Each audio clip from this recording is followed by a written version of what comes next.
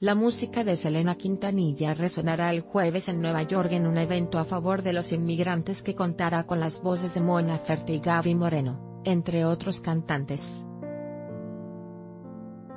Las artistas laureadas con el Latin Grammy integran el cartel de Selena for Sanctuary, un concierto gratuito al aire libre que forma parte del Festival de Verano Lincoln Center Out of Doors, y cuya misión es concientizar al público sobre las vicisitudes que atraviesan las familias inmigrantes que carecen de documentos para vivir legalmente en Estados Unidos y que enfrentan la deportación.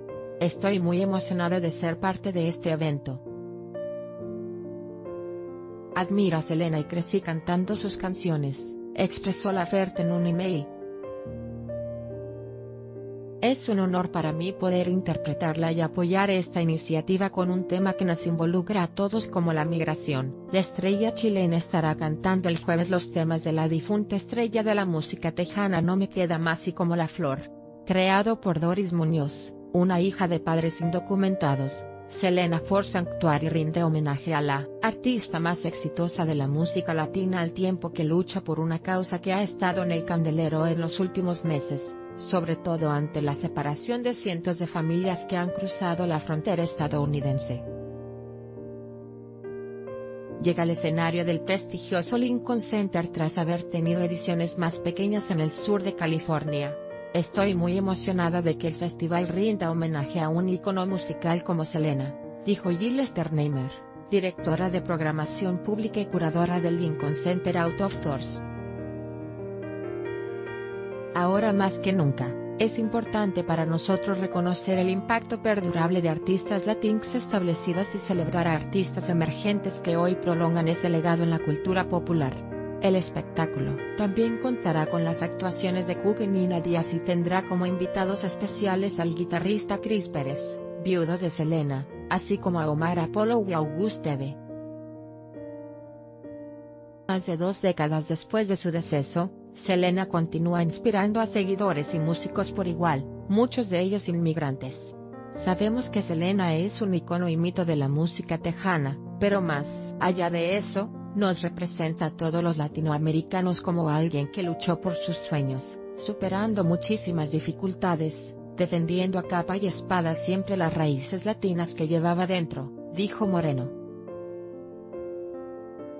A 23 años de su partida, sigue siendo una de las artistas más influyentes para los latinos e inmigrantes, agregó la cantautora guatemalteca, quien interpretará los temas de Selena Tecnocumbia y Fotos y Recuerdos.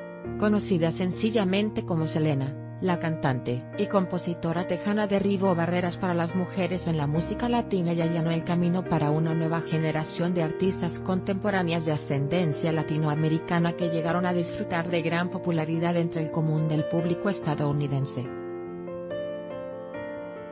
Su vida acabó demasiado pronto en 1995, cuando a sus 23 años fue asesinada por la presidenta de su club de fans.